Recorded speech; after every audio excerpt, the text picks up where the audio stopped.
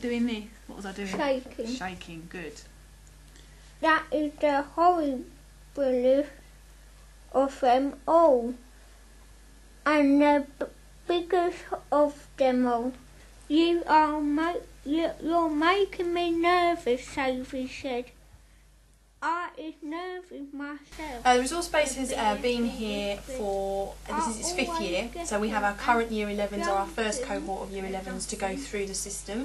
So we're obviously expecting uh, great things from from them this uh, academic year. I think the resource base is much more included now within the main school. It's been a real aim of mine personally since taking over as head of resource base to ensure that the uh, children are fully included uh, with their hearing peers and that um, we are accepted as any other department within the school and that's really that's been a really positive thing.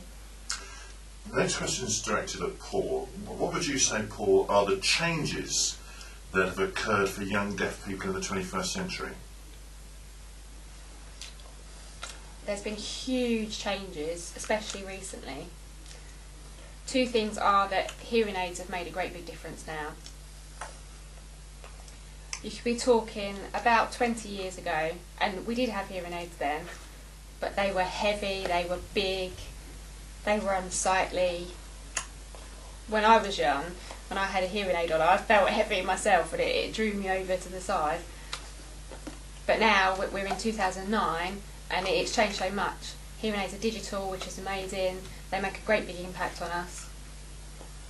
You can hear a much better quality of sound. They feel much more comfortable. They're much lighter now, and they make me much happier to wear them. And another new change is cochlear implants. Two or three years ago, there was a, a small amount of people interested in them, but now it's completely changed. It's, it's a big interest of lots of people. Obviously, with the changes in technology, cochlear implants have become much more attractive. Okay, the students um, arrive, they arrive by taxi very often. They come from different areas uh, around Thurrock, and we are the only resource base, secondary resource base in the Thurrock area, so they, they arrive via taxi. Uh, they would come into resource base to collect their hearing aid, uh, radio aid equipment from, from us. Um, mostly our students are integrated into the mainstream classrooms with their hearing peers. Um, they will go off to their tutor groups, they'll have their lessons, they're supported by um, either a communication support worker or a specialist learning support assistant or by uh, a Paul as deaf instructor. They will go to those lessons, they've got communication um, support should they need it, learning support. Sometimes they'd attend lessons in the resource base and they could, that could be on a one-to-one basis or a small group basis. At the moment we've got this uh, new uh, idea where we've uh, actually trialling out reverse integration where some of the students from the SEN register who have statements for special educational needs are now being taught with our hearing impaired students in resource base in small groups and that's working really well. Um, we, at the moment, our first cohort of Year 11s are going through the process of choosing colleges. So uh, one of our members of staff in particular is looking at researching, working closely with those colleges. But I know that Paul also is involved in the Deaf Youth Club and runs that. So maybe Paul would like to talk a little bit more about. Oh yes, yeah, I'm happy to. I run Thurrock Deaf Youth Club, and it's for deaf and hard of hearing children in the Thurrock area to go there. I set it up because hearing children have so many opportunities out there. Lots of youth clubs that they can go to, lots of activities, football, rugby, loads of different clubs. And deaf children can't access those because there's no communication support in these places. And there was a you know a gap in the whole deaf youth club market so I decided to set that up. For deaf children to go to which is in the deaf community there are deaf role models there. And one of the main thing is that we all know sign language and that's the beautiful part of it. Technology has a big impact. Like I said like 15 years ago communication was through face-to-face sign language and that was it uh, I'm, but I'm sure obviously Verity can agree that technology has changed things. For example, mobile phones, we can text each other now. I, I can, you know, we can text news, we can text what's happening, we can text them when there's a club on. So useful. and also the internet, Facebook, Bebo, those social sites are so good for the deaf community because a deaf person can log in, communicate with their friends. It's just so simple. And also, recently, webcams have become much more popular, and you can sign on them. So, if if anyone has a doctor's appointment, or that you know a child has a doctor's appointment, and they're embarrassed to take someone with them, or anything like that, then you can sign through an interpreter, like a three-way conversation using the computer.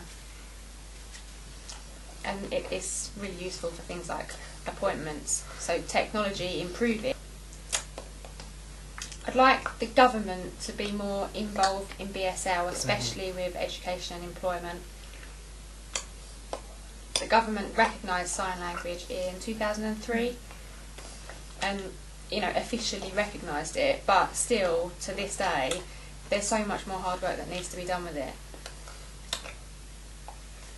Especially with like exam boards, exam offices, they create exam papers and they're f- it, all in English. Mm. Deaf children can't access that because it's not their first language. So we at St Clere's School or any deaf schools or mainstream schools with units have to receive the exam paper, modify the language. Mm. And that's why we need to withdraw them, that's why we need to give them extra time. And that creates problems.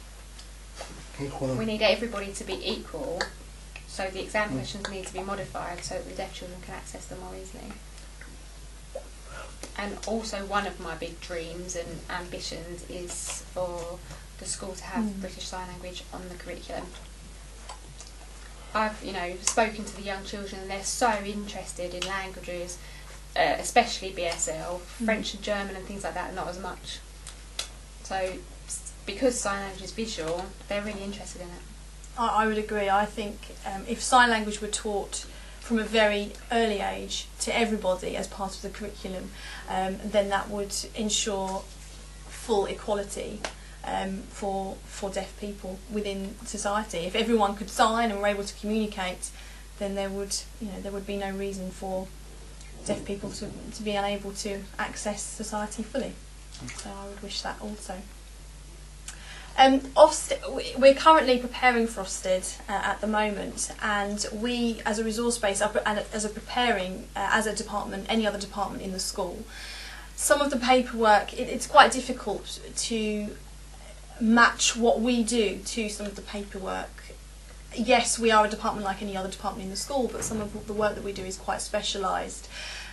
So, I'm absolutely welcome the opportunity for judgment for us to for judge ourselves and for others to come in and judge us. Um, but it might be nice in the future for there to be something which is perhaps more specific to uh, what we do as a resource base and what other resource bases do as well. Paul, Rosie, thank you very much indeed. Thank you. Thank you. Thank you. You are mo- you, you're making me nervous, Sophie said. I is nervous myself, the BFG whispered. I always get it.